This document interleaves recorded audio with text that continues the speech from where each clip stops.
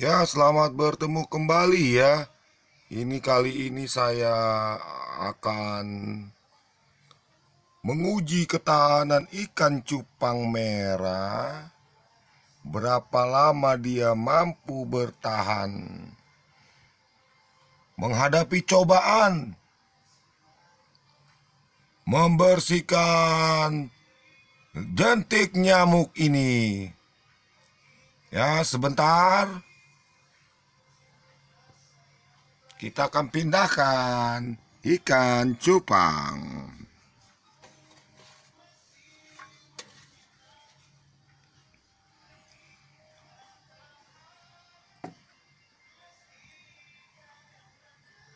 Apa yang terjadi? Dia harus melakukan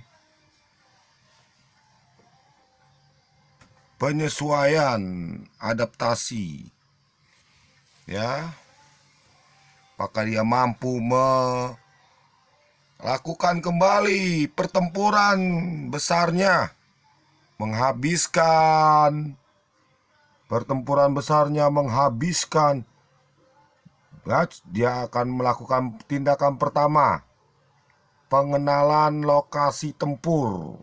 Teng teng tereng.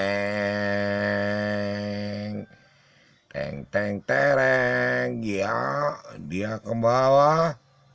Dia mengin karena sudah 15 menit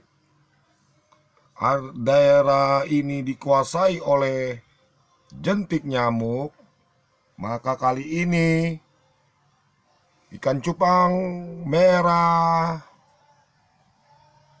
akan berjuang keras mengumpulkan perut yang tersisa untuk menghabiskannya. Ya, dia kembali melakukan pengenalan lingkungan. Sudah dua menit lebih dia melakukan pengenalan lingkungan. Apakah dia akan segera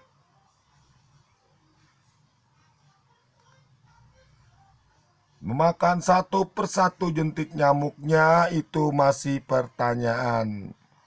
Karena di sini tidak bisa terlihat dengan jelas tingkah ikan cupang apa yang dilakukan. Guys, dia sudah mulai mengibaskan ekornya.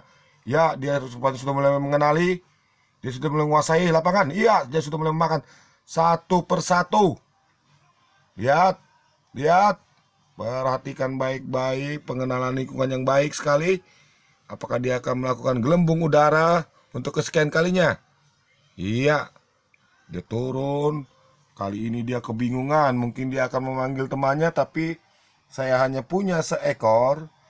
Dan dia harus melakukan tugas alaminya sebagai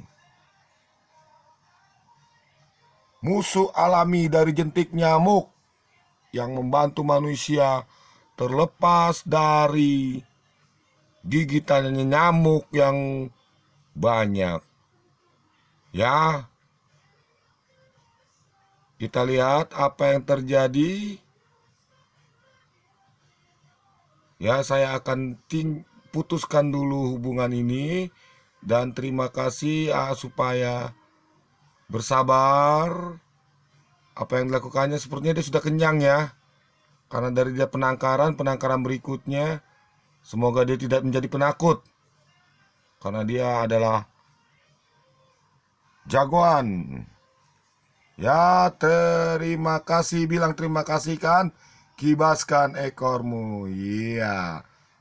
Terima kasih.